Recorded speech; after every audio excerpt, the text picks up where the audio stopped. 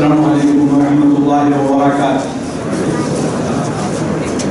السلام عليكم. عليكم خصوصا يا يعني عواد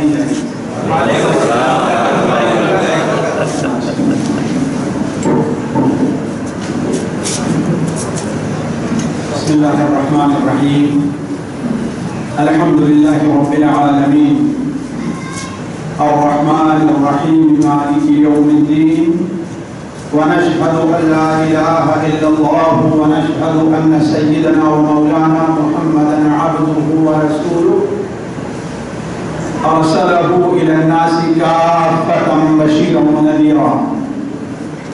أما بعد فإن خير الحديث كتاب الله وخير الهدي هدي محمد صلى الله عليه وسلم. وشر الأمور محدثاتها وكل محدثة بدعة. وكل بدعة ضلالة وكل ضلالة في النار. أعوذ بالله السميع العليم من الشيطان الرجيم من همزه ونفخه ونفثه. بسم الله الرحمن الرحيم. ما كان لبشر أن يؤتيه الله الكتاب والحكم والنبوة ثم يقول للناس كونوا عبادا لي من دون الله. ولكن كونوا ربانيين بما كنتم تعلمون الكتاب وبما كنتم تدرسون. سبحانك لا علم لنا إلا ما علمتنا إنك أنت العليم الحكيم. رب اشرح لي صدري ويسر لي أمري. واحلل عقدة من لساني يفقه قولي. واحلل عقدة من لساني يفقه قولي. عزیز ساتھیوں جنابی جی قدر علماء اور دعا اور پیاری بہنوں، یہ بات ہر شخص سے پوشیدہ نہیں ہے، کسی سے پوشیدہ نہیں کہ یہ فتنوں کا ایک دور ہے۔ چاروں طرف سے فتنے امت مسلمہ کو اپنے گھیرے میں لیے ہوئے۔ بہت سے لوگ جو امت کا درد رکھتے ہیں، اور میں سمجھتا ہوں کہ آپ جو حاضرین ہیں، وہ سارے لوگ ہی یہ درد رکھتے ہیں۔ ان کی سمجھ میں یہ بات نہیں آ رہی ہے کہ آخر امت کو ان فتنوں سے کیسے بچایا جائے اور کیسے نکالا جائے۔ نبی کریم صلی اللہ علیہ وسلم کی حدیث جو صحیح مسلم شریف وغیرہ میں ہے، وہ بالکل واضح طور پر صادق آ رہی ہے کہ آپ صلی اللہ علیہ وسلم اشارت فرمایا کہ بادروا بالاعمال فتنا كقطع الليل المظلم۔ اندھیری رات کے ٹکڑوں کے طریقے سے، فتنوں کے ظاہر ہونے سے پہلے پہلے جو کچھ عمل کرنا ہے، عمل کر لو۔ کل حال، ایک عالم اور ایک دائی اور عموماً ایک مسلمان کی یہ ذمہ داری ہوتی ہے کہ وہ قوم کے لوگوں کو، جماعت کے لوگوں کو، افراد کو ان فتنوں سے بچانے اور دور رکھنے کی کوشش کرے۔ اس سلسلے میں سب سے بڑا کردار جو ہوتا ہے وہ علماء اور دعا کا ہوتا ہے۔ سب سے بڑا جو رول ادا کرتے ہیں اس سلسلے میں اللہ تبارک و تعالیٰ کے ربانی بندے ادا کرتے ہیں۔ اس وقت ضرورت ہے کہ ہم میں کا ہر شخص ربانی بنے، ہم میں کا ہر شخص نبی کریم صلی اللہ علیہ وسلم کی تعلیمات جو فتنوں سے متعلق ہیں اور فتنوں سے اس امت کو کیسے بچایا جا سکتا ہے؟ ضرورت یہ ہے کہ ہم اس سلسلے میں کوشش کریں۔ اس لیے ساتھیوں اس درس کا ہم نے عنوان رکھا ہے وَلَكِنْ كُونُوا رَبَّانِيِّينَ۔ وَلَكِنْ كُونُوا رَبَّانِيِّينَ۔ اللہ تبارک و تعالیٰ تمہیں یہ حکم دے رہا ہے کہ تم ربانی بنو۔ اس آیت آیت کے اس ٹکڑے کا کیا مفہوم ہے؟ اور جو لوگ ربانی ہیں، ان کی کیا صفات ہیں؟ اور ان کی کیا ذمہ داریاں ہیں؟ یہ چند باتیں ہیں، جو آج کی مجلس میں میں آپ کے سامنے رکھنا چاہوں گا، البتہ یہ بات ذہن میں رہے کہ یہ چیز زیادہ تر علمی اعتبار سے ہوگی، عوام کا فائدہ اس میں ہے ضرور، لیکن شاید بہت سے لوگوں کی سمجھ میں یہ بات نہ آئے۔ اس لیے ہمارے جو دعات ہیں، اس لیے کہ ہمیں کہا گیا ہے کہ یہ خطاب خصوصاً دعات کے لیے ہونا چاہیے۔ اس لیے ان کے لیے چند رہنما اصول میں آپ کے سامنے رکھتا ہوں۔ سب سے پہلے دیکھیے، قرآن مجید میں اللہ تبارک و تعالیٰ نے ربانیین کا لفظ تین جگہ استعمال کیا ہے۔ تین جگہ اللہ تعالیٰ نے استعمال کیا ہے اور ایک لفظ اور آیا ہے جو اسی سے ملتا جلتا ہے، لیکن وہ ربانی نہیں، بلکہ ربیون ہے۔ وَكَأَيِّن مِّن نَبِيٍّ قَاتَلَ مَعَهُ رِبِّيُّونَ كَثِيرٌ۔ وہ ایک قرآن میں ہے وَكَأَيِّن مِّن نَبِيٍّ قُتِلَ مَعَهُ رِبِّيُّونَ كَثِيرٌ۔ کتنے نبی ہیں؟ جن کے ساتھ بہت سے ربیون نے ربیون کی تفسیر کرتے ہوئے مفسرین نے یہاں تک لکھا ہے کہ ربیون جو ہے، وہ خاص لوگ ہیں۔ کسی نبی کے جو خاص ساتھی ہوا کرتے ہیں، خاص الخاص ساتھی۔ جیسا کہ حضرت ابراہیم، حضرت عیسیٰ علیہ السلام والسلام نے کہا، من انصاری اللہ تم میں سے کون ہے جو اللہ تبارک و تعالیٰ کے دین کی مدد کے لیے اٹھ کھڑا ہو؟ تو خاص وہ لوگ جن کا لحاظ انبیاء علیہ السلام یا جن کی تربیت انبیاء علیہ السلام شرعی نہد یا الہی منحج پر کرتے ہیں، وہ اس سے مراد ہے تو یہ چوتھی جگہ استعمال ہوا ہے۔ سب سے پہلے ہم یہ دیکھتے ہیں کہ قرآن مجید میں ربیون کا استعمال کس طرح ہے۔ دیکھیے کہیں پر اللہ تعالیٰ نے جہاں ربانیون کا استعمال کیا ہے، وہاں پر ان کا منصب بیان کیا ہے کہ ان کا منصب کیا ہے۔ وہ کس مقام پر؟ فائد ہیں۔ یہ ضروری ہے ساتھیوں اگر آپ داعی ہیں، اگر آپ ایک مبلغ ہیں، اگر آپ ایک طالب علم ہیں، اگر ایک آپ عالم ہیں، تو سب سے پہلے یہ ضروری ہے کہ آپ اپنے منصب کو پہچانیں۔ آپ کا مقام کیا ہے؟ آپ کو جس جگہ پر رکھا گیا ہے، آپ کی وہاں سے ذمہ داریاں کیا ہیں؟ آپ کو کن چیزوں کا لحاظ رکھنا چاہیے؟ تو اللہ تبارک و تعالیٰ نے کہیں پر ربانیون کا منصب بیان کیا ہے۔ چنانچہ سورہ آل عمران میں اللہ تبارک و تعالیٰ ارشاد فرماتا ہے۔ اور یہ اس ضمن میں بیان فرمایا کہ عیسائیوں نے حضرت عیسیٰ علیہ السلام کو اللہ تعالیٰ کا بیٹا بنا لیا جو اس وقت احبار اور رحبان موجود تھے، وہ لوگوں کے اوپر اپنے حکم اس طریقے سے چلانا چاہتے تھے کہ گویا وہ ایک مربی نہیں، وہ ایک معلم نہیں، بلکہ گویا وہ ایک رب بنے ہوئے ہیں اور جس طریقے سے چاہتے تھے، لوگوں کے درمیان فیصلہ کرتے تھے۔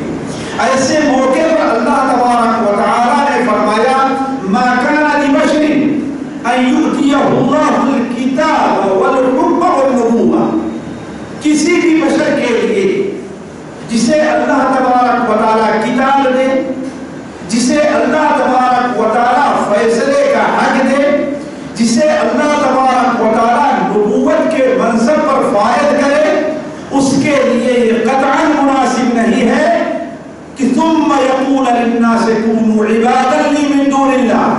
وہ لوگوں سے کہے کہ اللہ کو کے علاوہ تم میرے بھی بندے بن جاؤ۔ جس طریقے سے اللہ تبارک و تعالیٰ کے احکام بے چورجرا قبول کر لیے جاتے ہیں۔ اللہ تعالیٰ کا جو حکم آتا ہے، اس میں لیے تو لعن کی گنجائش نہیں رہتی ایسے تم لوگ بھی جو میں کہوں اسے آنکھ بند کر کے مان لو۔ اس کی تحقیق کی کوئی ضرورت نہیں۔ ہے اس کی تفسیر میں جانے کی کوئی ضرورت نہیں۔ ہے اس سے متعلق سوال کرنے کی کوئی گنجائش نہیں ہے۔ نہیں۔ کونو عباد لی من دون اللہ۔ اللہ تعالیٰ یہ حکم نہیں دیتا ہے، لیکن اللہ تعالیٰ حکم کیا دے رہا ہے؟ وَلَكِنْ كُونُوا رَبَّانِيِّينَ۔ لیکن تمہیں بننا کیا ہے؟ ربانی بننا۔ کیا بننا ہے؟ ربانی تعلمون الكتاب. اس طرح کہ تم کتاب کی لوگوں کو تعلیم دو. وَبِمَا كُنْتُمْ تَدْرُسُونَ. اور تم خود بھی جس طریقے سے برابر کتاب کے اوپر عالم ہو. تو گویا اس آیت کے اندر ربانیین کا ایک محصب بیان کیا گیا ہے کہ ان کا اصل مقصد کیا ہے؟ تعلیم اور تعلم ہے. اللہ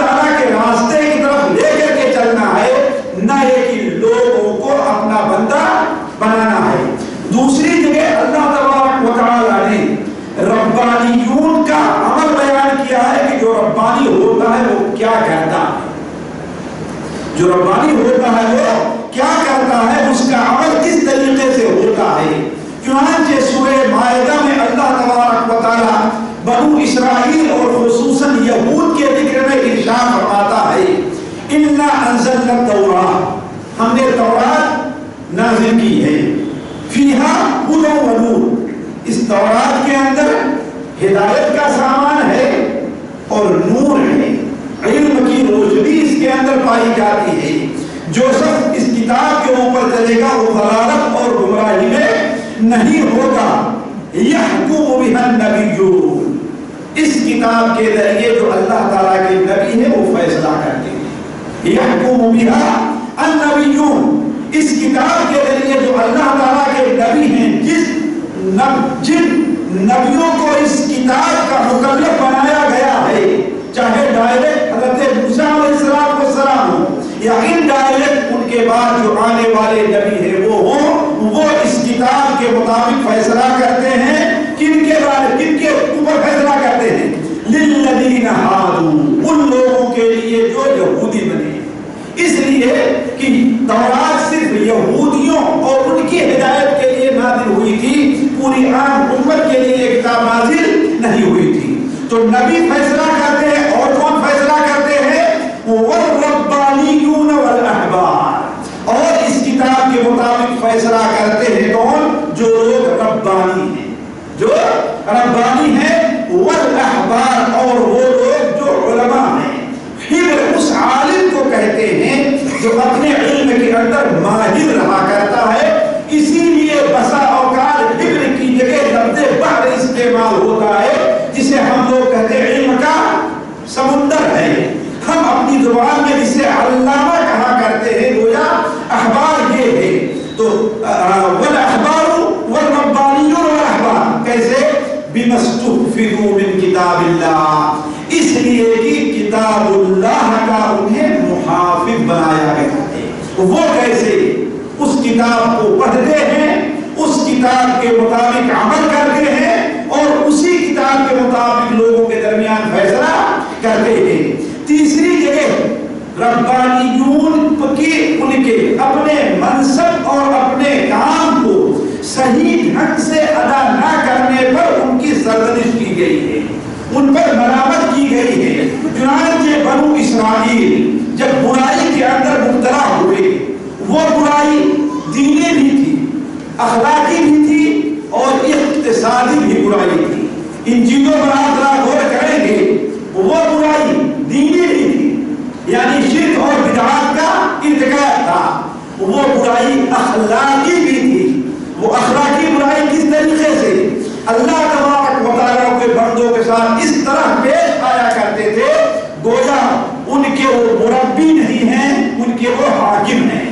ان کے وہ معلم بلکہ ان کے اوپر حکم چلانے والے ہیں۔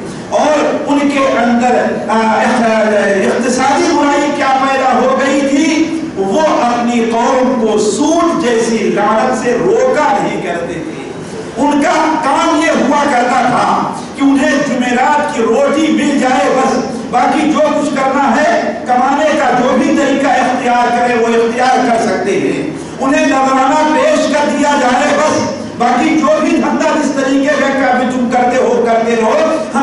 سے مطلب نہیں ہے۔ تو ایسے وقت میں جو ان کے علامہ تھے، انہیں ربانی بننا تھا، ان کے پر سرورش کرتے ہوئے اللہ تعالیٰ ارشاد فرماتا ہے لولا ينهاهم الربانيون عن قولهم الاثم واكلهم السحت لبئس ما كانوا يعملون اللہ کے یہ جو بندے ہیں، ربانی جو بنے ہوئے ہیں، وہ والاحبار جو علامہ ہیں لولا ينهاهم بنو اسرائیل کو یہ لوگ روکتے کیوں نہیں ہیں؟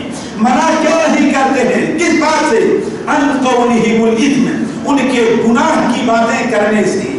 یہ گناہ کی باتیں ایک عام لفظ ہے ساتھیوں جس میں وہ گناہ جو دین سے متعلق ہے وہ بھی آ جاتا ہے، اور وہ گناہ جو اخلاق اور اقتصاد سے متعلق ہے وہ بھی آ جاتا ہے۔ وہ اکلہم السحت ہے اور جو حرام مال کھا رہے ہیں۔ سود کی شکل میں، اس لیے کہ اس سے پہلے سود کا ذکر ہوا ہے۔ جو سود کا مال کھا رہے ہیں، نبی سما کام یصنعون یہ بہت برا کام وہ لوگ کر رہے ہیں۔ تو اللہ عرض کرنے کا مقصد یہ ہے کہ قرآن مجید میں لفظ ربانی تین جگہ آیا ہوا ہے۔ ایک جگہ ربانی جو ہے ان کا منصب بیان کیا گیا ہے۔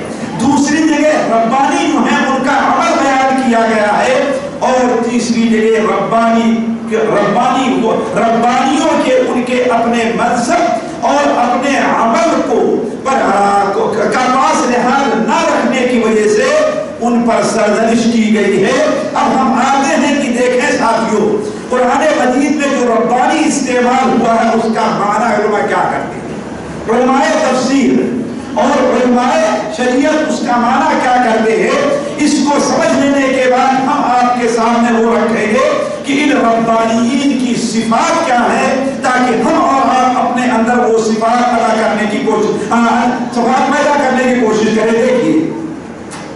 ربانی ساتھیوں بنا ہے رب سے۔ ربانی بنا ہے رب سے۔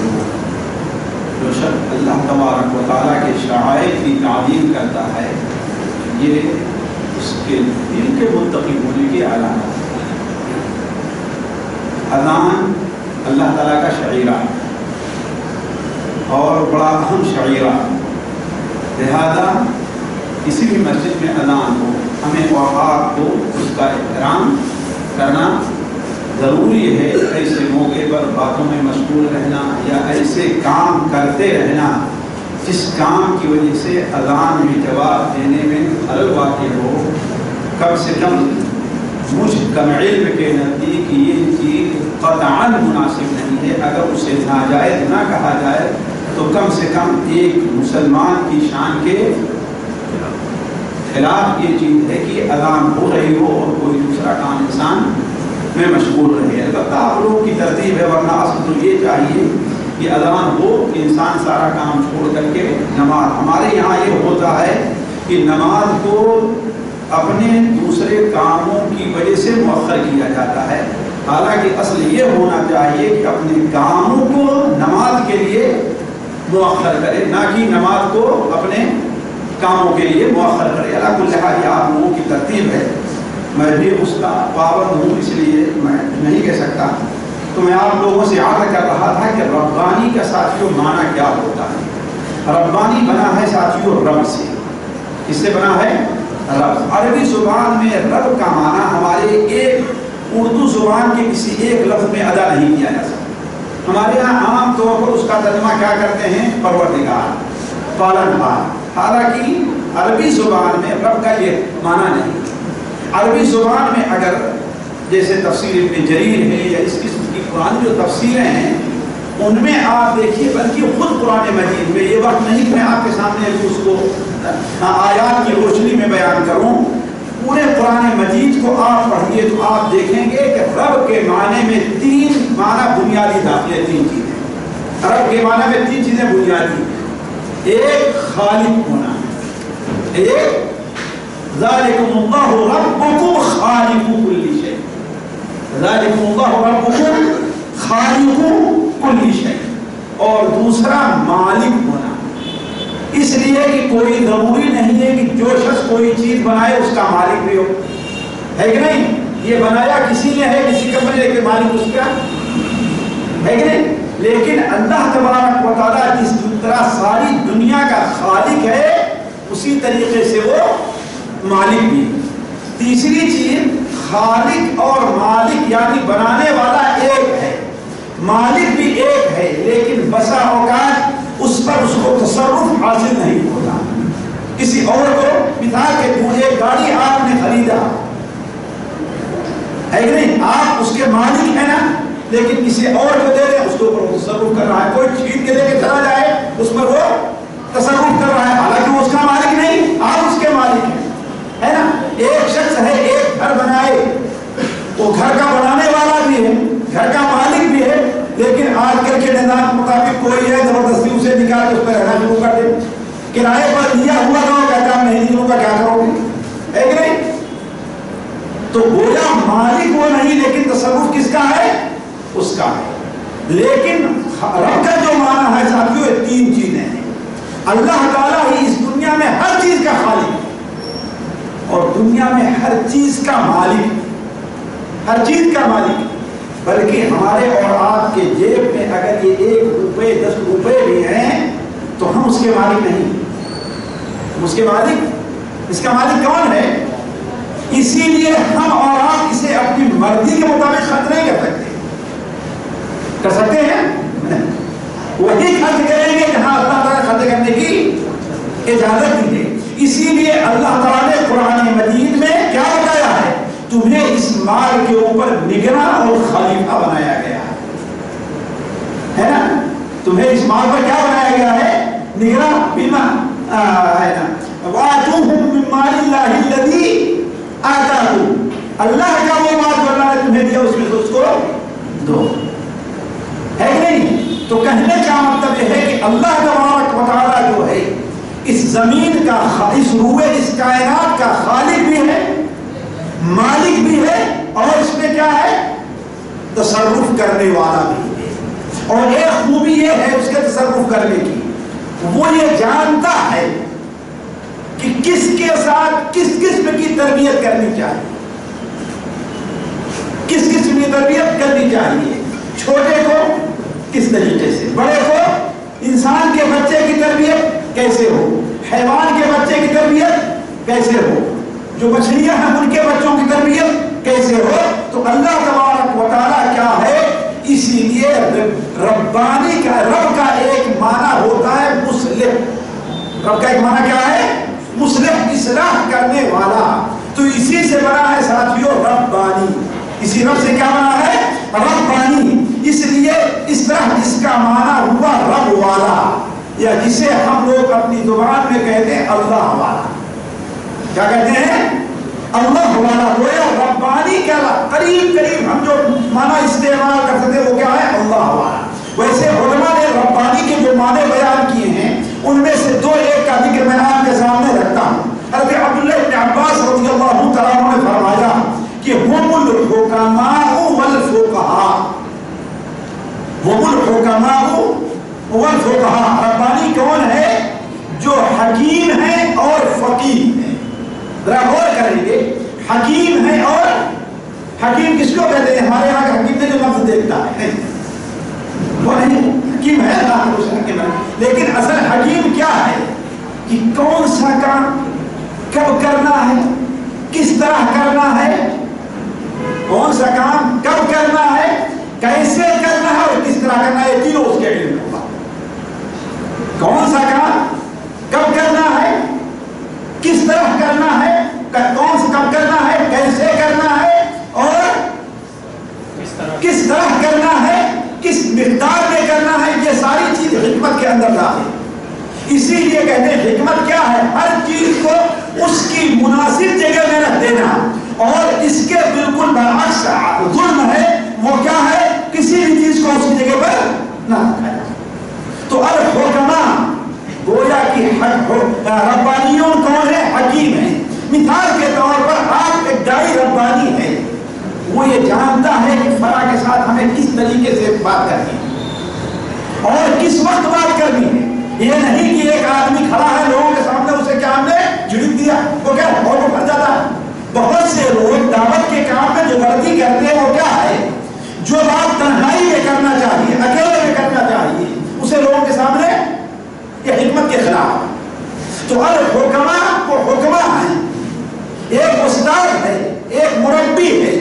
وہ یہ جانتا ہے کہ یہ بچہ ہمارے پاس ابھی نیا نیا پڑھنے آیا ہمارے ساتھ نیا نیا ملا ہے۔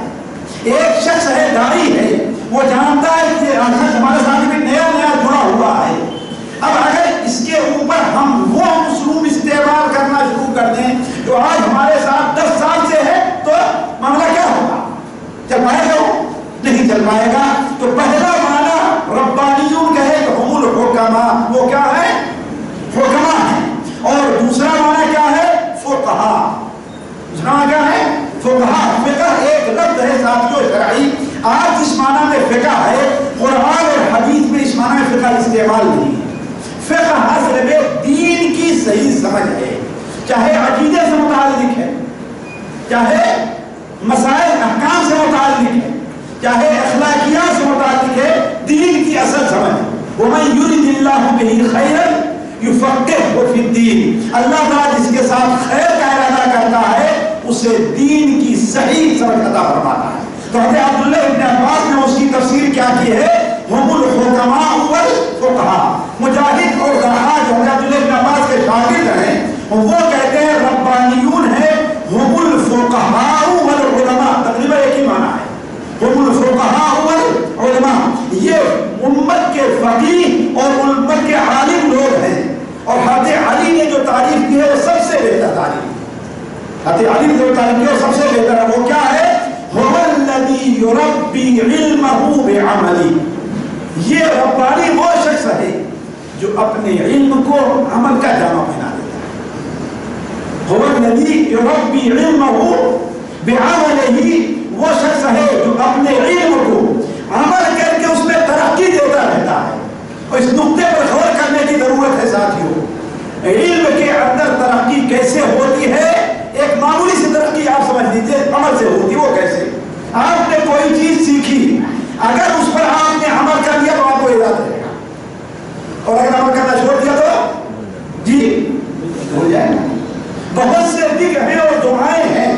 انسان نے اس کو سیکھا ہے، پڑھا ہے، لیکن اس پر عمل نہیں کرتا تو آئے لیکن اگر اس پر عمل کرتا ہے تو بغیر سوچے بھی اس کی زبان سے نکل جاتا ہے۔ مثال کے طور پر ایک شخص ہے، نماز میں چند ذکر کا عادی ہو گیا ہے۔ وہ سوچے گا نہیں، لیکن جیسے رکو میں جائے گا، سبحان اللہ العظیم اس کے زبان سے ادا ہو جائے گا۔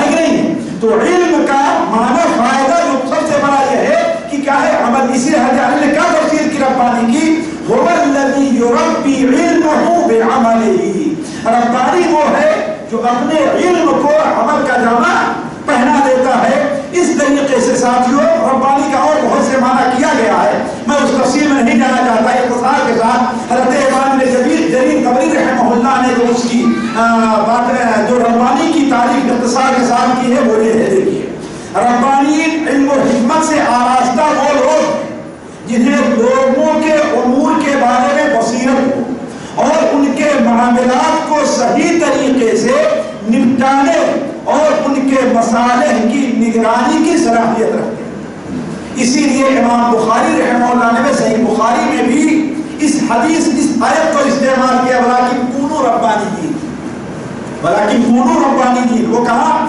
کتاب العلم کے اندر۔ جہاں پر باب باندھا ہے بابو بابو العلم قبل القول والعمل۔ باب اس بیان میں کہ کہنے اور عمل کرنے سے پہلے علم کی ضرورت ہے۔ وہاں پر جو چند اخوال نقل کیے ہیں، وہاں پر ایک قول یہ بھی ہے وَلَكِنْ كُونُوا ربانیین اور ربانیین کا معنی یہ نکلا کہ ربانی وہ شخص ہوتا ہے جو پہلے لوگوں کی تربیت کرتا ہے، آسان علم دے کر کے، یہاں تک کہ اسے بڑا آگے بڑھا پختہ بنا دیتا ہے۔ جیسے استاد ہے، قرآن پڑھانے والا ہے، پہلے بچوں کو چھوٹی چھوٹی صورتیں پڑھاتا ہے حفظ کرانے والا ہے۔ چھوٹی چھوٹی صورتیں یاد کراتا ہے اس کے بعد بڑی صورتیں مجھ کو۔ کیوں اس لیے کہ اگر اسے بڑی بڑی آیتیں اگر اسے یاد کرانا شروع کر دے تو اس کو نہیں یاد کر پائے گا۔ تو علی کل حال یہ معنی ہے، لیکن اختصار کے ساتھ آپ یہ سمجھیے، ربانیین کے اندر تین چیزیں داخل ہیں۔ تین چیزیں داخل ہیں۔ جو علماء کے اقوال کا خلاصہ ہم نے سمجھا ہے ساتھیوں، وہ تین چیزیں داخل ہیں۔ پہلی چیز یہ کہ ربانی وہ شخص ہے جسے اپنے علم میں رسوخ حاصل ربانی وہ شخص ہے جسے اپنے علم میں رسوخ یعنی اس کا علم اگر کامل نہیں تھا بات کامل کس کا علم ہے؟ اللہ تعالیٰ کا ہے۔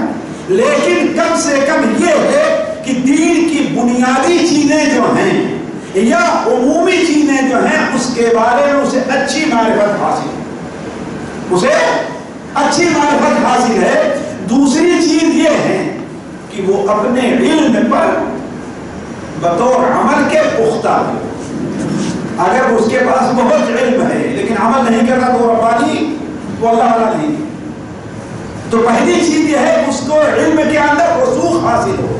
اور دوسری چیز یہ ہے کہ وہ اپنے علم پہ جو اس کو علم ہے اس کے بارے میں عمل پر بھی پختہ ہے۔ یہ نہیں کہ کبھی کر لیا، لوگوں کے سامنے ہے اس کے اوپر عمل کر لیا اور اکیلے ہے ہم لوگوں کے سامنے تھے اذان شروع ہوئی تو ہم خاموش ہو گئے اور اکیلے ہیں اپنے گھر میں تو کوئی پرواہ نہیں، یہ نہیں۔ یہ چیز نہیں، کیا ہونا چاہیے؟ عمل پر پختہ ہونا چاہیے، جہاں کہیں بھی ہے لوگوں کے درمیان میں ہے، یہ تنہائی میں ہے، کہیں بھی ہے اس کے اوپر وہ عامل ہے۔ اور تیسری چیز یہ ہے کہ دعوت اور تبلیغ کا ماہر بھی۔ ہو دعوت اور تبلیغ کا وہ کیوں؟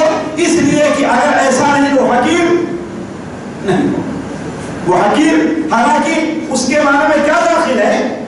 اسی طریقے سے ربانی کا ایک معنی جو مسلح مسلح ہے یعنی اصلاح کرنے والا، وہ اپنے شاگردوں کی اصلاح نہیں کر سکتا ہے۔ خیر ساتھیوں آگے بڑھتے ہیں۔ اختصار کے ساتھ کہ ربانیین کی صفت کیا ہے؟ یہ سوچ کر کے کہ ہم میں کا ہر شخص اپنے اندر یہ صفات پیدا کرنے کی کوشش کرے، تبھی فتنوں سے اور ان مشکل اوقات میں اپنی جماعت کو اور اپنی قوم کو فتنوں سے باہر کر سکتا ہے۔ دیکھیے، جو کچھ ہم نے سمجھا ہے، انہی آیات کی روشنی حالانکہ باتیں بہت ہیں، لیکن جن آیات میں ربانیین کا ذکر ہے، ان آیات کی روشنی میں جو ہم نے سمجھا ہے ربانیین کی صفت وہ آپ کے سامنے رکھتا ہوں۔ دیکھیے، پہلی چیز یہ ربانی کی پہلی صفت یہ ہے کہ وہ عالم ہونا چاہیے۔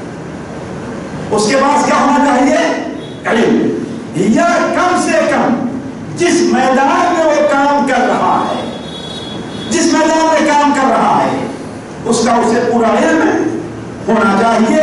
یہ بہت ضروری چیز ہے۔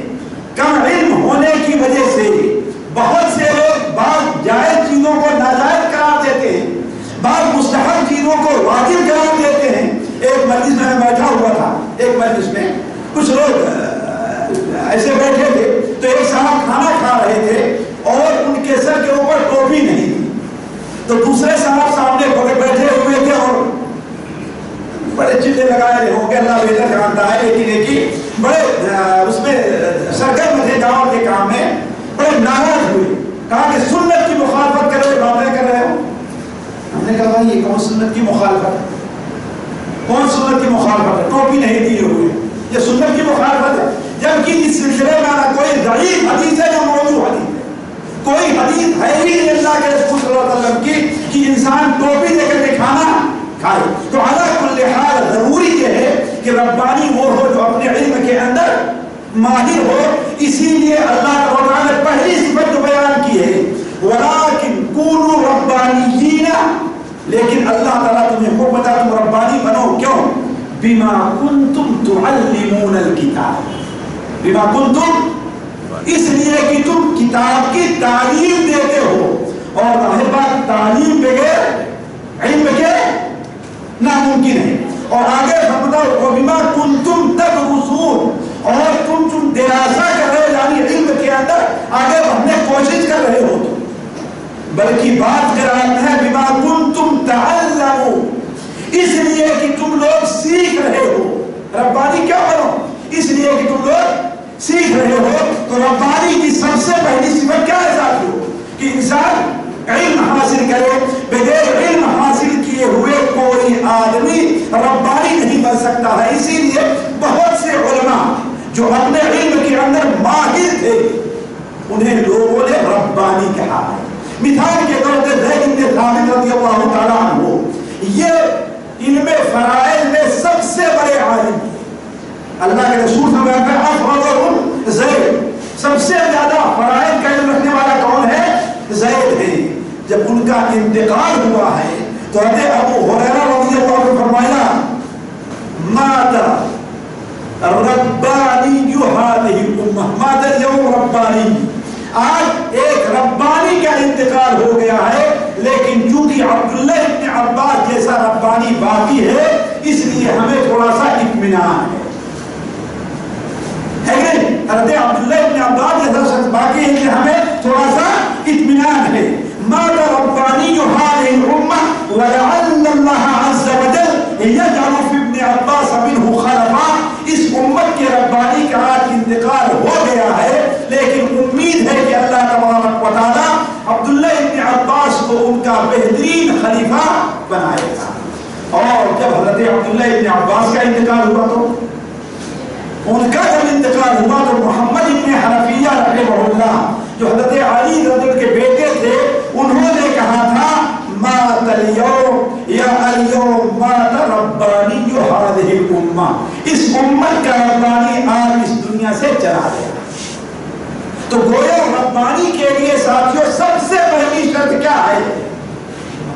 علم کا حاصل کرنا، اسی لیے امام بخاری رحمہ اللہ نے یہاں پر باب العلم قبل قول والعمل نقل کیا ہے، وہاں پر شاید کا ذکر کیا ہے، ولیکن کونو ربانی لیکن یہ بات ذہن نشین ہونی چاہیے۔ اس علم سے مراد کیا ہے؟ قرآن مجید نے وہ بھی بتا دیا۔ اس علم سے مراد عموماً کتاب و سنت کا علم۔ بما کنتم تعلمون الكتاب۔ بما کنتم تعلمون الكتاب. ربانی بنو کیوں؟ اس لیے کہ تم کتاب یعنی اللہ کے کتاب کو سیکھتے ہو۔ اللہ کے کتاب کو لوگوں کو سکھاتے ہو۔ تو اصل علم کیا ہے؟ کتاب اور سنت کا ہے، کیونکہ نبی کریم صلی اللہ علیہ وسلم کا ارشاد ہے کہ مجھے قرآن دیا گیا ہے اور قرآن جیسی ایک چیز اور عطا کی گئی ہے۔ گویا معلوم یہ ہوا کہ ربانی وہ شخص ہے جو کتاب و سنت کا علم رکھ رہا ہے۔ صرف فضائل کا علم نہیں، صرف یہ نہیں کہ قرآن پڑھنا جانتا ہے، وہ نہیں۔ کیا ہونا چاہیے؟ کتاب و سنت کا اس کے پاس اچھا علم ہونا چاہیے۔ تبھی تو قحطانی جو ایک بہت بڑا شاعر اردوسی گزرا ہے، ان کی کتاب نونیہ ہے، انہوں نے لکھا ہے، العلم قال اللہ قال رسولہ، قال قال اللہ وقال رسولہ، اور جو صحابہ نے کہا ہے، گویا کہ یہ علم سمجھیے غور کیجیے ہونا چاہیے، کتاب کا علم ہونا چاہیے، سنت کا علم ہونا چاہیے، اور اس کے ساتھ منہج صحابہ پر ہونا چاہیے، یہ نہیں کہ ہر آدمی جو اردو سے بخاری شریف پڑھ لیا، اردو سے کوئی کتاب تفسیر پڑھ لیا، وہ اپنے طور پر فیصلہ کرنا شروع کر دے، اور آج ہمارے یہاں جو بہت گڑبڑی پائی جاتی ہے۔ وہ یہ ہے کہ اردو پڑھ کر کے بہت سے لوگ عالم بن گئے ہیں۔ اردو پڑھ کر کے بہت سے عالم بن گئے ہیں اور اردو پڑھ کر کے علم کو نقصان پہنچانے والے جتنے لوگ ہیں، اتنا شاید دوسرے لوگ جو غیر انہوں نے بھی نہ پہنچایا ہو اسلام تو یہ غور کرنے کی ضرورت یہ ہے کہ اصل چیز یہ ہونی چاہیے، کتاب کا علم، سنت کا علم، اور کس پر ہونا چاہیے۔ منہج سلف کے اوپر مجھے بڑی اچھی لگی۔ امام ابن رجب رحمہ اللہ نے اپنی بات کتابوں کے اندر نقل کیا ہے کہ سب سے نفع بخش علم کیا ہے؟ علم ضبط النصوص۔ نصوص کو ضبط کرنا ہے۔ یعنی نصوص کتاب اور نصوص سنت کو ضبط کرنا یعنی اپنے سامنے رکھنا ہمیشہ اسے۔ اور اس کے بعد کیا ہونا چاہیے؟ وفہم و معانی اور اس کے معانی کو سمجھنا چاہیے۔ صرف سنت کو پڑھ لینا۔ صرف قرآن کو پڑھ لینا یہ کافی نہیں ہے، ضروری ہے اس کے معانی کو سمجھے۔ اور تیسری چیز بیان فرمائی وہ وَالتَّقَيُّدُ بِالْمَعْذُورِ جو اثر علم آ رہا ہے نقل کر کے صحابہ کا، اس کی پابندی کرنا چاہیے۔ مثال کے طور پر ایک حدیث ہے، اس لیے کہ ساتھیوں، بات دوسری طرف نہ جائے۔ صرف مثال کے طور پر ایک چیز میں آپ کے سامنے رکھتا ہوں۔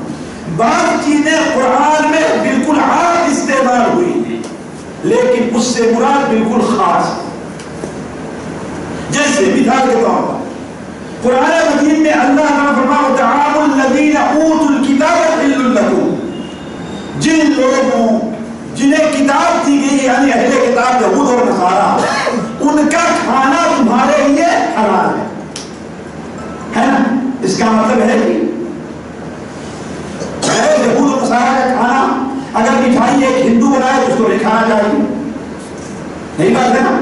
اگر سال یہ ہندو بنائے تو اس کو نہیں، یہی مانا ہوا نا؟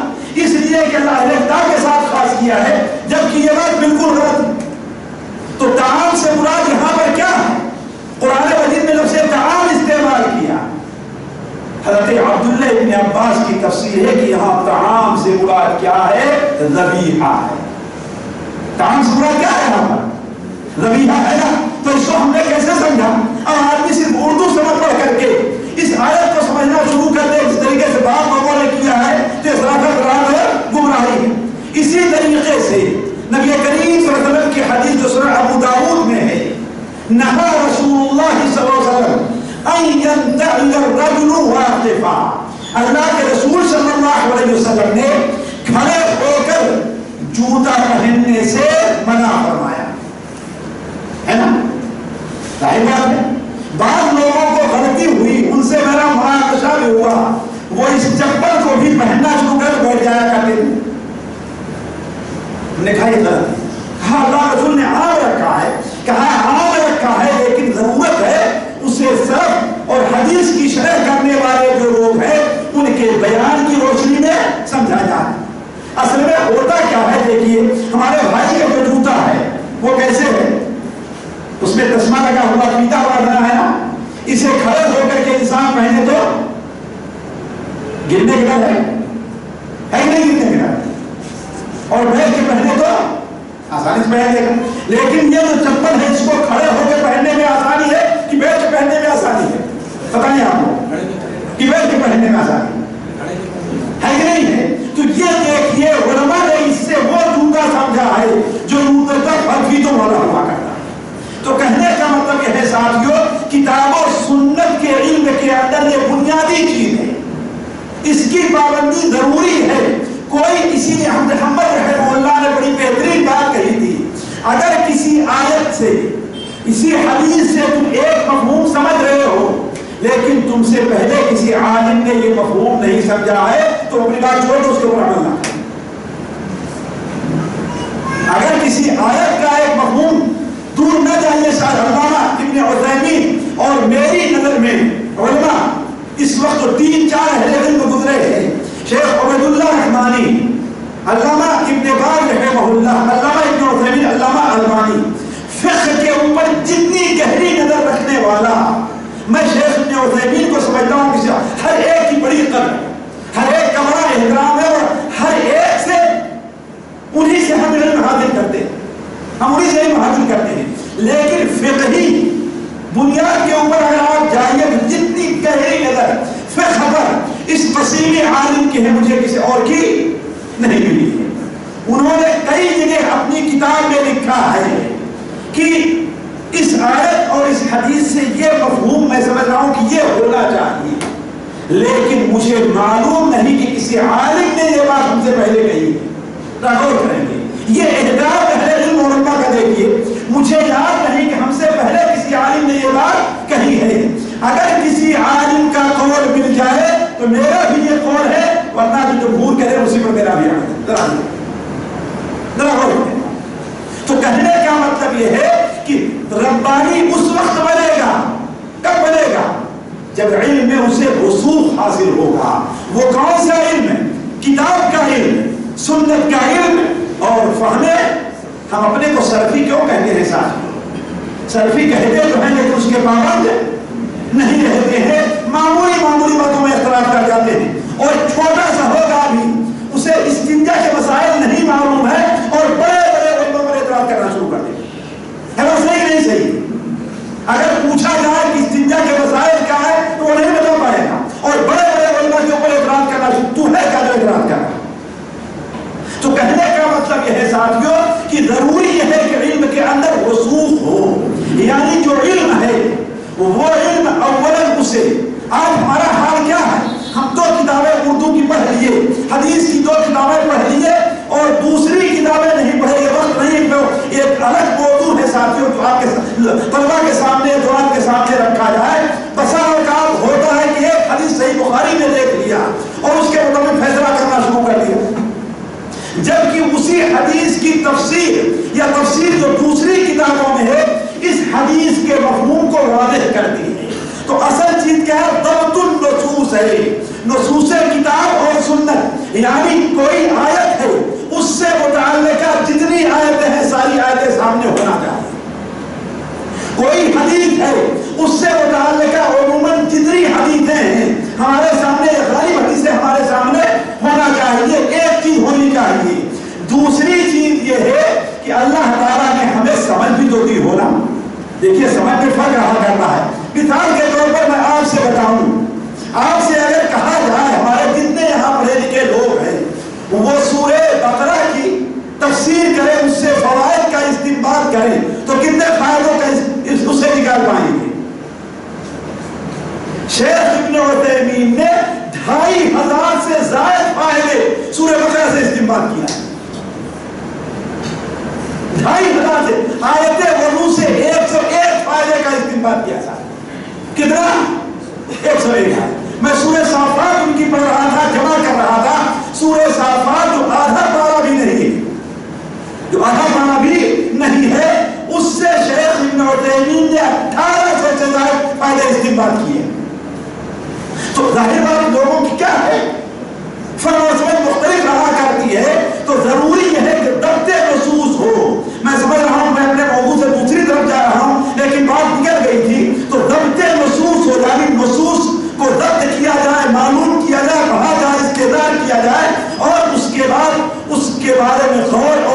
اور کا اپنے اندر پیدا کیا جائے۔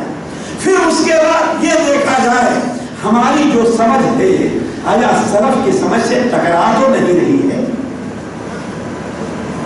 آگے میں سمجھا؟ تو کہنے کا مطلب یہ تین چیزیں ہیں۔ یہ چیز ہے پہلا، پہلی صفت ربانیین کی کیا ساتھ ہو؟ کہ علم حاصل کیا جائے۔ دوسری صفت ربانیین کی جو ہے،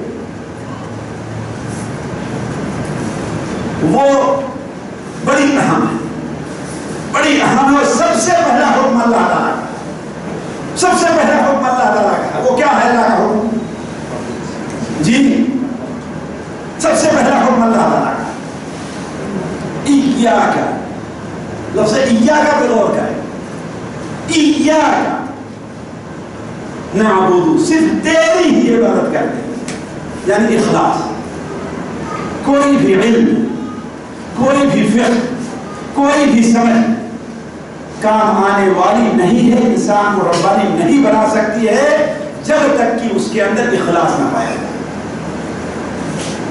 جب تک کہ اس کے اندر اخلاص نہ تو اخلاص نیت اور نیت صالحہ یہ بنیادی چیز ہے ساتھ کیوں؟ اس لیے کہ جب تک کسی کے اندر اخلاص نہیں پایا گیا، وہ شخص اللہ والا دنیا والا ہوگا۔ ربانی والا کیا ہے؟ رب والا اللہ والا یعنی وہ جو ارادہ کرے، اس کی مرضی کے کوئی چیز لیتا ہے، اس کی مرضی کے مطابق ہوتی ہے تو لیتا ہے۔ کوئی چیز چھوڑ دیتا ہے، اس کی مرضی کے خلاف ہوتی ہے تو چھوڑ دیتا ہے۔ ہے ویسا ہی نہیں صحیح؟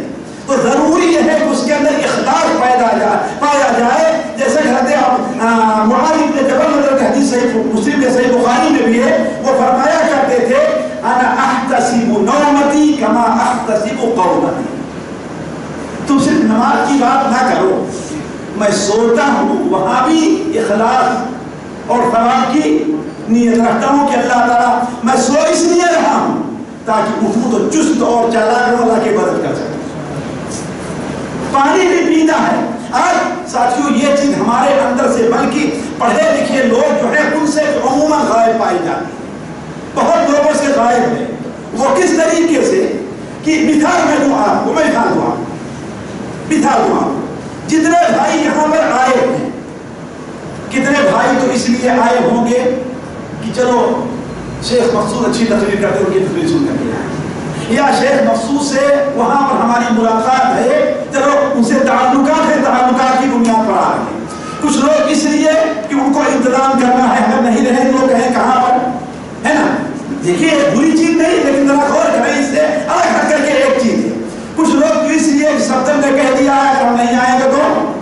شیخ صاحب نے کہہ دیا اگر نہیں آئیں گے تو ہم سے کل۔ یہ ساری چیزیں میں نہیں تک بری۔ ہیں لیکن اس کے ساتھ ساتھ ایک اور چیز ہے جو عموماً لوگوں کے ذہن سے غافل رہا ہے وہ کیا چیز ہے؟ احتساب ثواب نیت ہم اس لیے چل رہے ہیں کہ یہ دین کی مجلس ہے۔ ہم اس لیے چل رہے ہیں کہ اس مجلس سے اللہ تعالیٰ محبت کرتا ہے۔ اس لیے ہم چل رہے ہیں کہ اس مجلس میں جانا، جنت طرف ایک قدم بڑھانا۔ اگر یہ جذبہ پیدا ہو جائے، تو اگرچہ کوئی ایسا عالم ہو جس کی تقریر آپ نہیں آ پائیں گے۔ ہے ویسا ہی نہیں، آئے گے نہیں آئیں گے جب یہ جذبہ ہوگا۔ لیکن جب یہ جذبہ ہوگا تو، ارے وہ کیا وہ تو وہی بات کہتے ہیں جو سارے لوگ کہتے آئے ہیں۔ ہے نا؟ وہ جب بات کر لیتے ہیں، لوگ سونا شروع کر دیتے ہیں۔ ہے اسی طریقے دور نہ جائیے، آپ مثال طور پر آپ وضو کرنا ہے۔ وضو کرنا ہے۔ یہ دیکھیے ربانی اللہ والے بنو سارے اللہ والے بنو۔ میں پڑھ رہا تھا، المنار۔ یہ بہت پرانا ایک پرچہ ہے، نکلتا تھا مصر سے۔ اور اپنے وقت کا دنیا کا سب سے اچھا پرچہ نہ ہو، تو کم سے کم سب سے اچھے پرچوں میں تھا۔ سب سے اچھے پرچوں میں تھا۔ ان میں امام علامہ رشید اللہ مصری رحمہ اللہ نے ایک واقعہ لکھا۔ ایک واقعہ علامہ عمر سری رحمہ اللہ سے متعلق۔ علامہ عمر سری ادھر سے مدراس سے کس طرف ہے مدراس جی پیچھے طرف مدراس سے جا رہے تھے دلی یا اسی یوپی کی طرف جا رہے تھے علامہ عمر سری رحمہ اللہ اس وقت جہاد کا سفر نہیں تھا.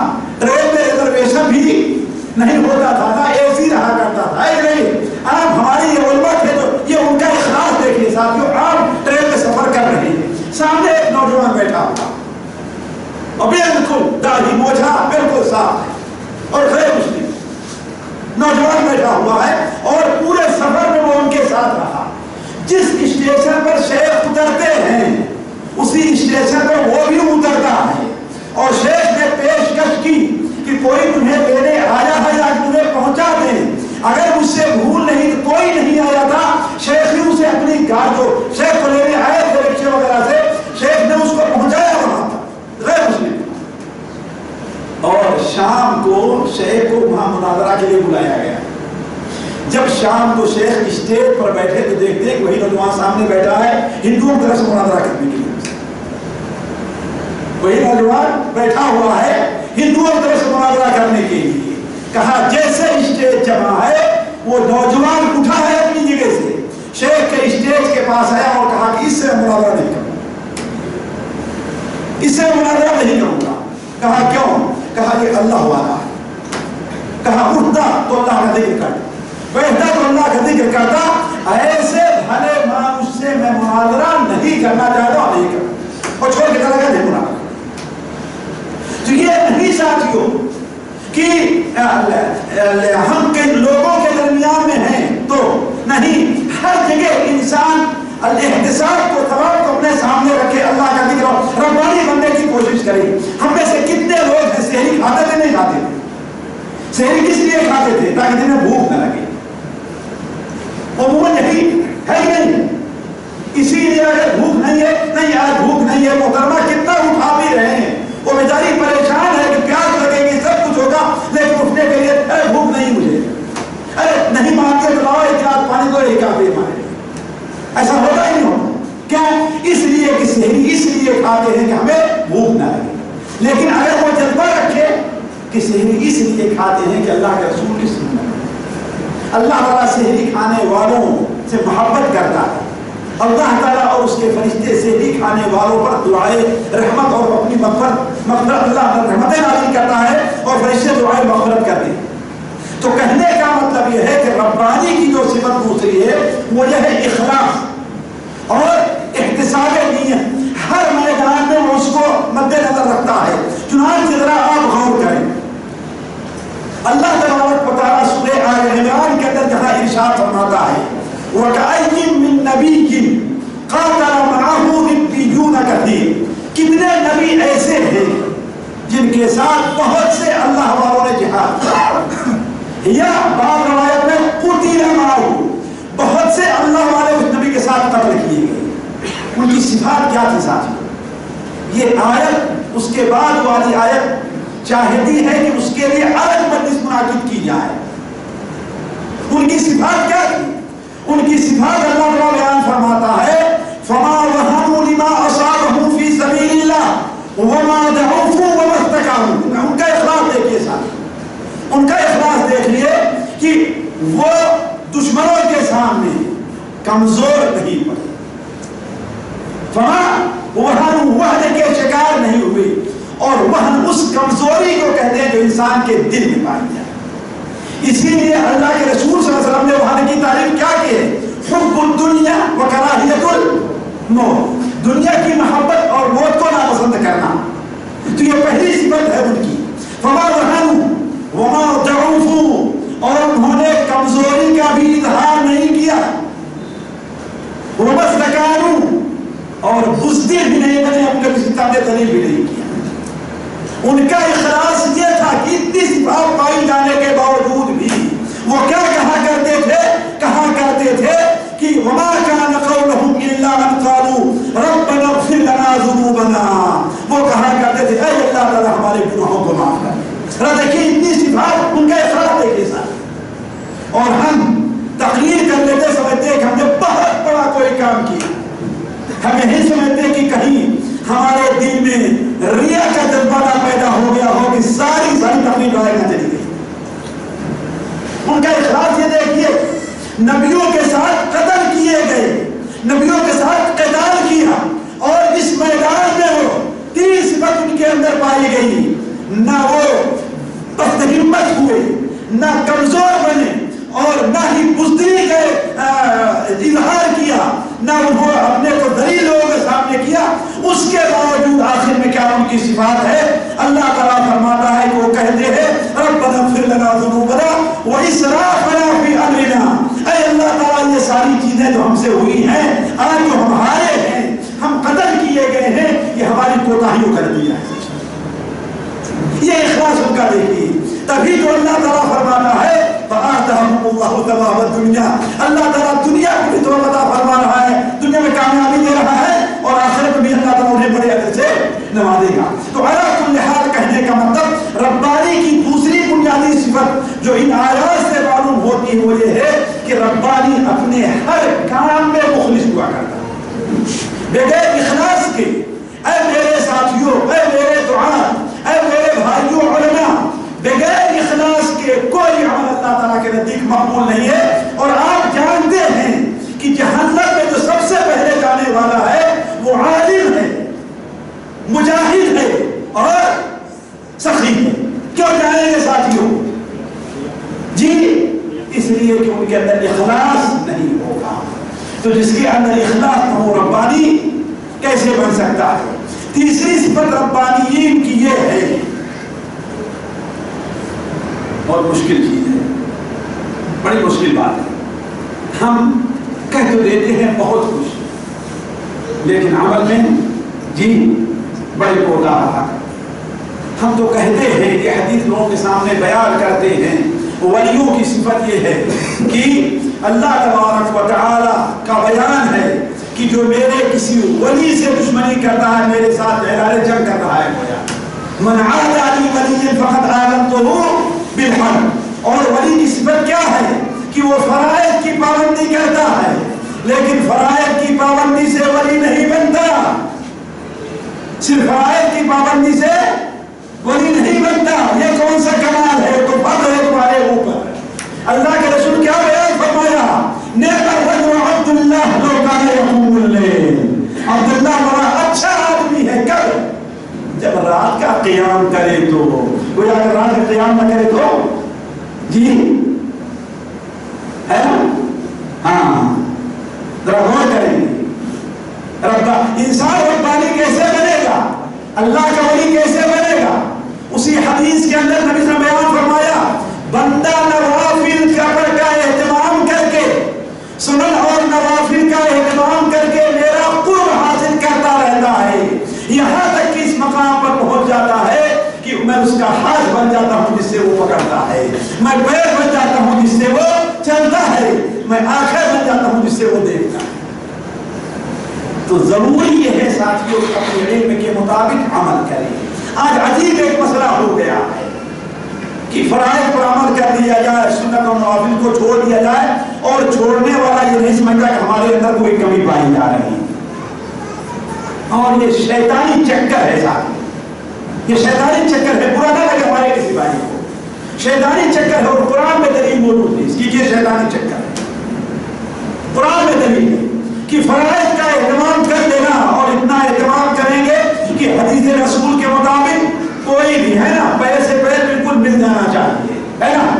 اور بالکل سینہ تان کر کے سیدھے پر ہاتھ کر کے کھڑے ہو جاؤ اور زور سے آمین بولو۔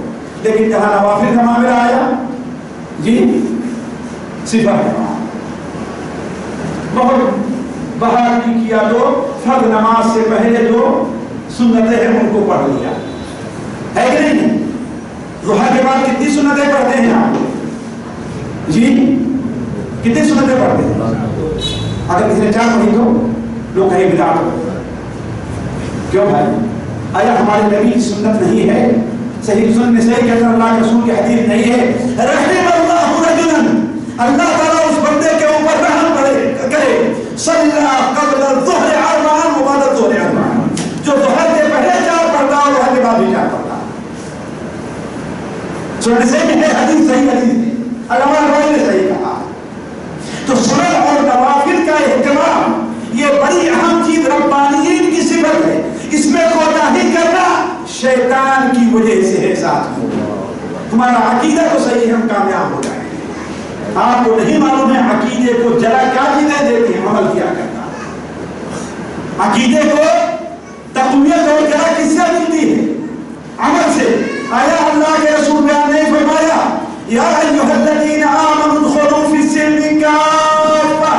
اے ایمان والو، دین میں پورے کے پورے داخل ہو جاؤ۔ وَلَا تَتَّبِعُوا خُطْوَاتِ الشَّيْطَانِ اور شیطان کی جی چالوں کی پیروی نہ کرو، اس کے دھوکے میں نہ آؤ یہ بتاؤ سنت اسلام شریعت میں ہے کہ نہیں ہے نوافل شریعت میں ہے کہ نہیں ہے بتائیے ہے کہ نہیں ہے گویا اس میں کوتاہی کرنا بڑا تمہیں خبر جگہ کی پیروی تو کہنے کا مطلب ربانی جو ہوا کرتا ہے ساتھیوں ضروری ہے یہ چیز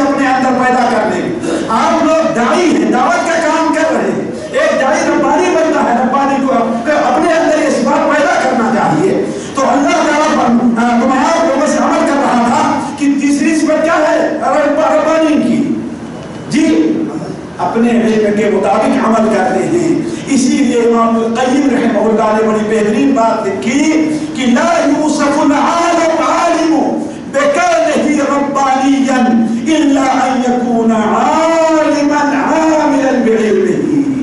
کسی بھی شخص کو ربانی، کسی بھی عالم کو ربانی اس وقت تک نہیں کہا جا سکتا جب تک کہ اپنے علم کے مطابق وہ عمل نہ کرتا ہو۔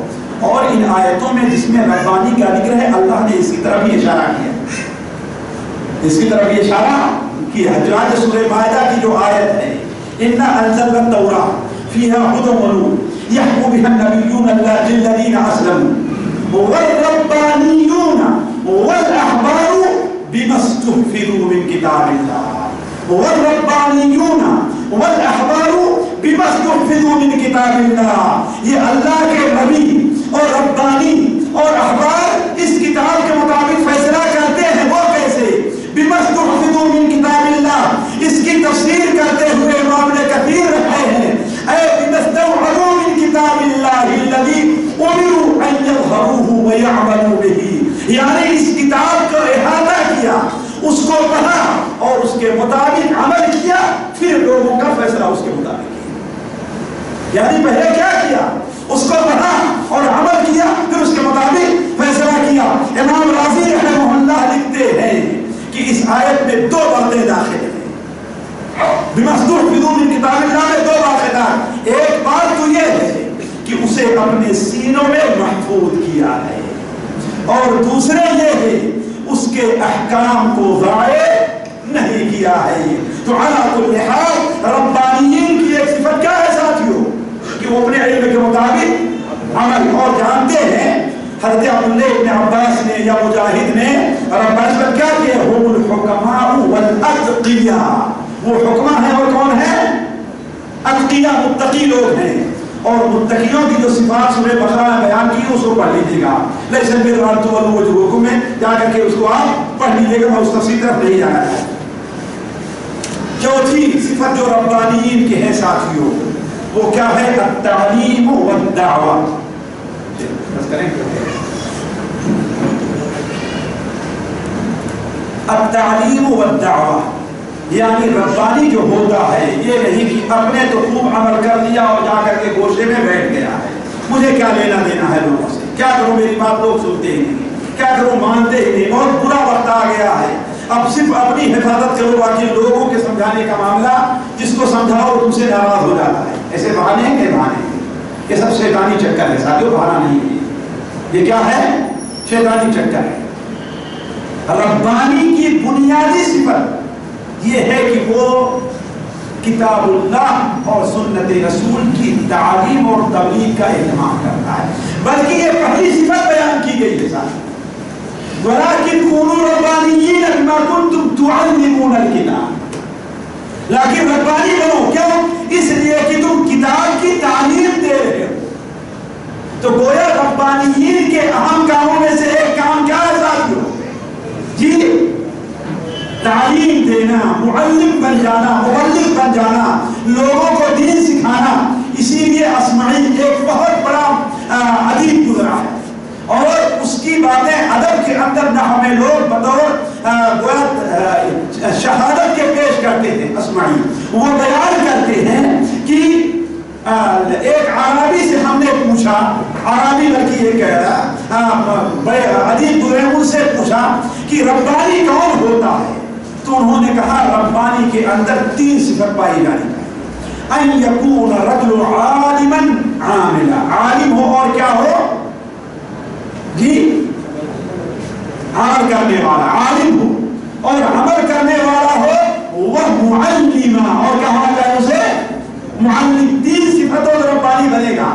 خود علم رکھتا ہو، اپنے علم کے مطابق عمل کرتا ہو اور اس علم کو لوگوں تک پہنچاتا ہو اور کہا اگر ایک چیز بھی نہ پائی گئی تو وہ شخص کیا ہوگا؟ ربانی نہیں بن سکتا ہے۔ اللہ کل حال پانچویں صفت ربانی ان کی ہے کہ وقت کم ہے، میں بات کرتا ہوں۔ پانچویں صفت ربانی کی یہ ہے کہ تربیت اور تزکیہ کیا جائے۔ ساتھیوں، دیکھیے، تعلیم اور ہے اور تربیت اور ہے۔ تعلیم اور ہے اور تربیت اور ہے۔ تعلیم اور ہے اور تزکیہ اور ہے۔ آج ہمارے مدرسوں میں تعلیم ضرور ہے، لیکن تربیت نہیں۔ ہے آج ہمارے اسکولوں میں تعلیم ہے، لیکن وہاں تربیت اور تزکیہ نہیں ہے۔ آج ہمارے جلسوں میں تقریریں ہیں، لیکن تربیت نہیں ہے۔ ہم جہاں پر جلسے کا اہتمام کرتے ہیں، وہاں پر تربیتی کیمپ کیوں نہیں رکھتے ہم؟ کس بات کی تربیت؟ چوبیس گھنٹہ آپ چار سے آدمیوں کو رکھ لیجیے کہ چوبیس گھنٹے میں آپ زندگی کس طریقے سے ہونی چاہیے؟ فرائض کا اہتمام، کب سونا ہے، کب اٹھنا ہے، کیا کیا عمل کرنے ہیں، صبح کے اللہ کے بڑا تعجب ہوا۔ بات اچھے اچھے اپنے کو علم کا دعویٰ کرنے والے مقررین حضرات۔ ان سے پوچھا گیا صبح کے اذکار کیا ہیں؟ تو شاید وہ دو چار منٹ کے اندر بھی صبح کے اذکار نہ بیان کر کیوں؟ اس لیے عمل نہیں کیا اس کے بعد یہ یہ نتیجہ کس بات کا ہے؟ کہ مدرسوں میں اس پر ان کی تربیت نہیں کی گئی۔ آج ضروری یہ ہے کہ ہم جہاں پر دعوت کا اہتمام کرتے ہیں، ہم جہاں پر کانفرنسیں منعقد کرتے ہیں، ہم جہاں پر جلسے کرتے ہیں، ان کانفرنسوں کے ساتھ تربیتی کیمپ بھی ہمارے قائم کیے چاہے مردوں کے ہو اور خواہ عورتوں کے ہوں۔ اور یہ کوئی نہ سمجھے کہ میں کوئی عجیب بات کر رہا ہوں۔ یہ نبی کریم صلی اللہ علیہ وسلم کا فرض منصبی بیان کیا گیا قرآن مجید۔ هو الذي بعث في الأميين رسولا منهم ذرا غور کریں۔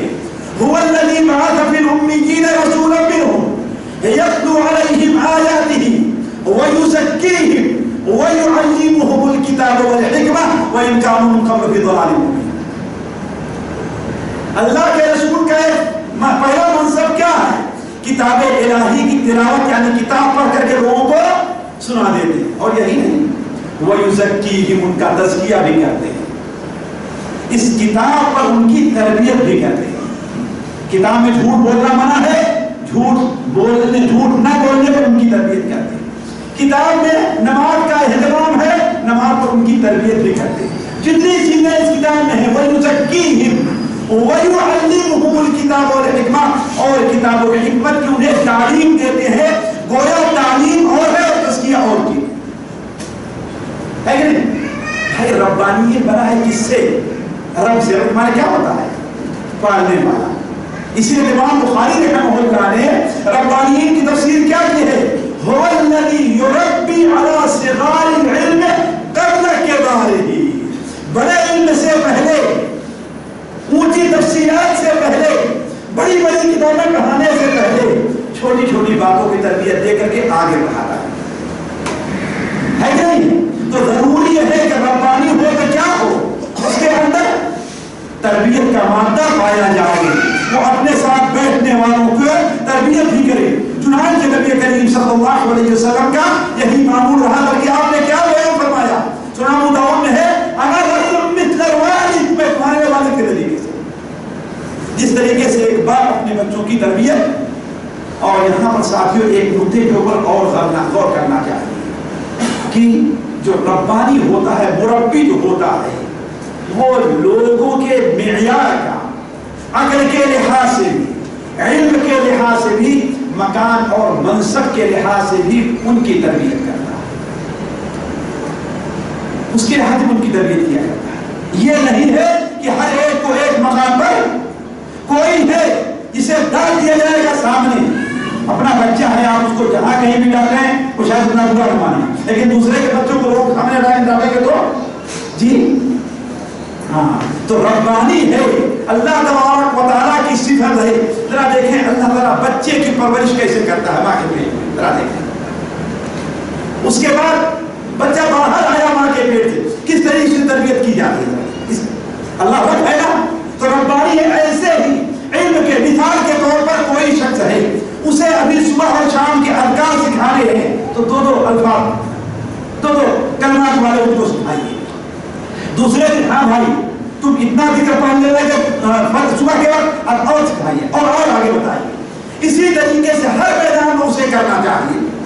چھٹی صفت ربانین کی یہ ہے جو ہمارے لیے بہت ضروری ہے۔ وہ کیا ہے صاحب صبر اور ثابت آدمی استقامت۔ کوئی آدمی ربانی بغیر استقامت اور صبر کے نہیں بن سکتا۔ بلکہ صبر جتنی چیزیں اوپر بیان کی گئی ہیں اگر ہماری اصطلاح میں لیں تو سب اس میں ریڑھ کی ہڈی آپ کی ریل ٹھنڈی ٹوٹ گئی تو آپ کسی کام کے ہیں؟ کر سکیں گے؟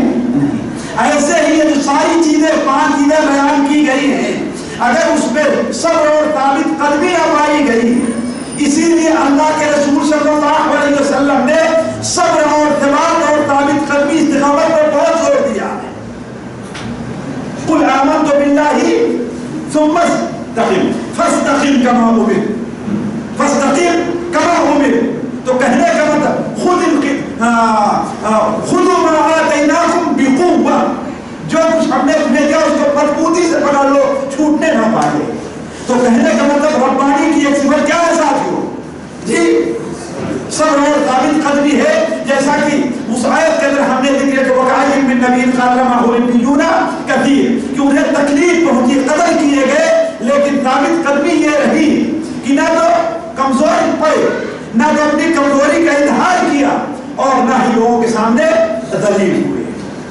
اور ساتویں صفت ربانی کی یہ ہے، ساتھیوں، امر بالمعروف اور نہیں منکر کا فریدہ ادا کرنا۔ ہے تو بڑا مشکل کام، لیکن بڑا ضروری کام۔ ہم ممبر پر بیٹھ کر کے تو ہر برائی کو برائی کہہ دیں گے، ہے نا؟ ہر چیز کی دعوت دے دیں گے۔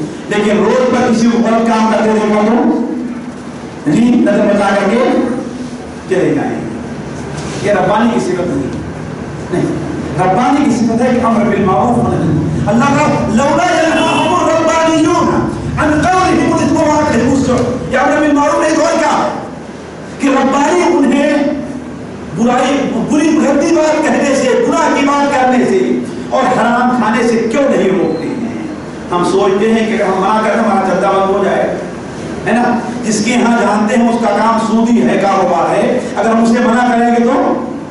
کہے کہ مولوی صاحب، آپ کو لینا بھلے ورنہ جائیے نہیں، لینا چلے جائیے اگر میرا میرا سود کا ہے، کیا کریں گے آپ؟ حرام میں جائیے آپ کے لیے۔ کیوں؟ اس لیے کہ ہمارے اگر ایک دو آدمی نے یہ کیا، تو عموماً لوگوں نے چھوڑا ہوا۔ اگر سارے جوڑا ربانی بن جائیں اور سارے اس کے سامنے یہ بات کہنے لگیں تو یہ جرات نہیں کرے گا۔ تو ربانین کی اسمت کیا ہے ساتھیوں امر بن معروف ہونے منکر کا فریضہ ادا کرنا ہے۔ اور آخری چیز ساتھیوں، باتیں اور ہے لیکن میں دس لکھا تھا لیکن صرف آٹھ پر اجتماع کرتا ہوں۔ ربانین کی ایک صفت یہ ہے کہ امت کے مسائل سے دلچسپی رکھیں امت کے مسائل سے وہ گوشہ نشین نہیں۔ آج ہمارے یہاں ساتھیوں بہت سی برائیاں، شادی بیاہ کی اور اخلاقیات کی اور رسم و رواج جو جاری ہے اس کی وجہ کیا ہے؟ کہ علماء ان مسائل سے دلچسپی نہیں رکھتے۔ ان سے خاموشی اختیار کرتے ہیں۔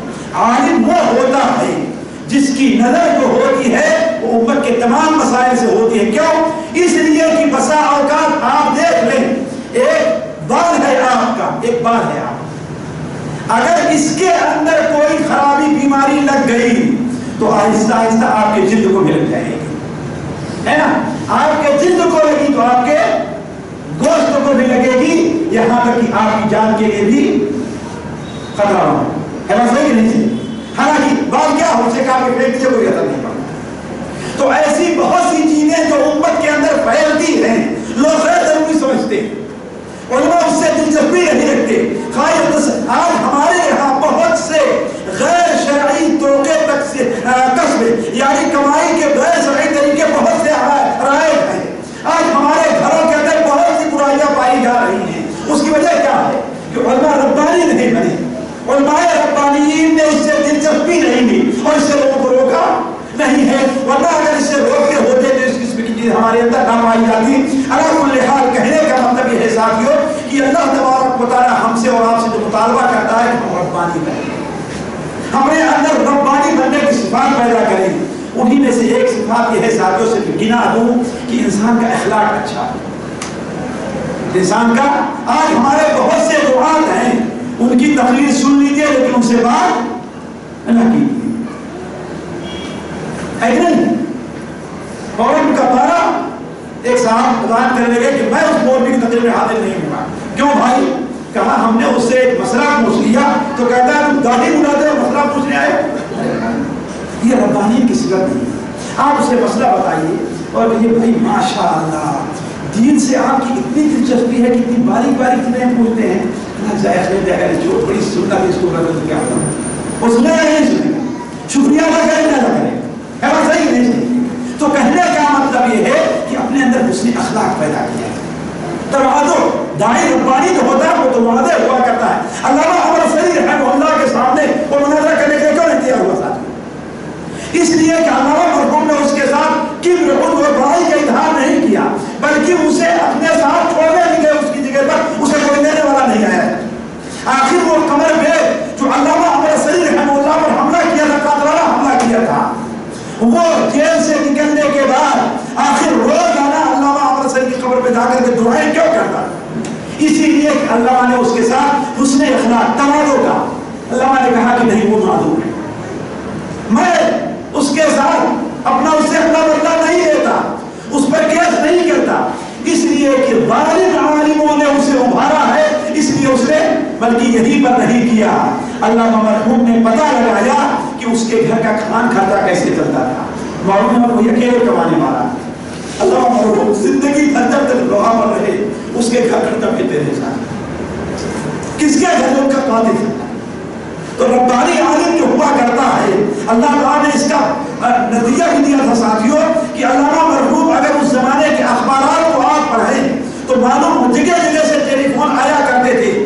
فلاں جگہ کے لوگ آدھے سے زیادہ قادیانی ہونا چاہتے تھے آدھے سے زیادہ آریہ سماج سے متاثر ہو گئے تھے لیکن آپ کی تقریر کا اور اہل حدیث کے اندر آپ کے اس مضمون کا یہ اثر پڑا کہ سارے کے سارے لوگ اس سے روپے اٹھائے ہوں گے۔ یہ ایک تو نہیں، کئی ایسے واقعات پیش آئے ہیں۔ آخر کیوں؟ اس لیے کہ اللہ مرحوم کا یہ توازو تھا یہ اخلاق پائے اپنے دشمن کے ساتھ ان کا یہ اخلاق تھا۔ تو کہنے کا مطلب ربانی جو ہوتا ہے، اچھے اخلاق کا مالک۔ اس نے خود کا اتوازو اس کے اندر پایا، جاتا ہے۔ اللہ تبارک و تعالیٰ سے دعا ہے کہ اللہ تبارک و تعالیٰ ہمیں اور آپ کو ربانی بنائے۔ اللہ تعالیٰ ہمیں اور آپ کو اپنے اندر اس بات میں لا کر کے کوشش کرے۔ اس فتنے کے دور میں اللہ تعالیٰ ہماری اور آپ کی حفاظت فرمائے۔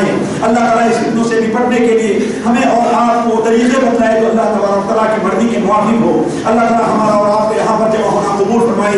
یہاں جمع ہونے کی برکت سے اللہ تعالیٰ ہماری اور آپ کی گناہوں کو معاف فرما دے اللہ تعالیٰ ہماری اور آپ کی اصلاح فرما دے اللہ تعالیٰ ہم سے جو لوگ پریشان ہیں، اپنی پریشانی کو دور فرما دے جو لوگ کسی مشکل میں ہیں، اللہ تعالیٰ ان کو اس مشکل سے نکال دے۔ جو لوگ کسی بھی طریقے سے کہ ضرورت مند اور حالت مند ہیں اللہ تعالیٰ ان کی ضرورت اور حالت کو پوری سبحانك اللهم وبحمدك أشهد أن لا إله إلا أنت أستغفرك وأتوب إليك.